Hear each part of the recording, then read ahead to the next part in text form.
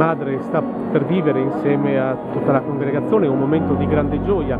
Dopo 85 anni oggi vi verranno consegnate le Costituzioni. Come state vivendo questo momento? Allora, con molta trepidazione, con molta gioia, sembrarci un sogno. Che ci è arrivata come una grazia di Dio, come grazia di Dio effettivamente Quanto è presente Padre Evaristo oggi? sempre fisso. È una grazia che ha concesso lui alla sua comunità, perché noi nella nostra fragilità non avevamo nessunissima intenzione di tradirlo a lui.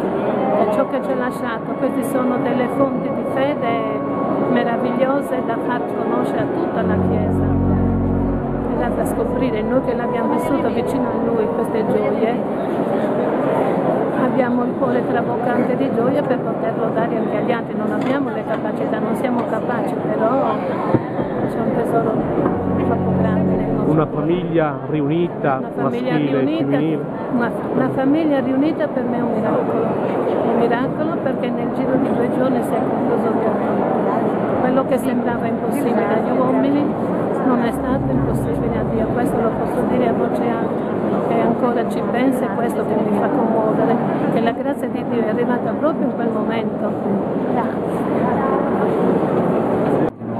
Direttore Renato Adisani, ecco, è arrivato questo giorno della consegna delle Costituzioni, un momento possiamo dire di grazia di Dio, ecco, come, lo- come lo sente, come lo sta vivendo? Sì, io sto vivendo che è un grande dono per la comunità. Sono passati tanti anni dalla fondazione e dopo tante peripezie si è arrivati a questo giorno.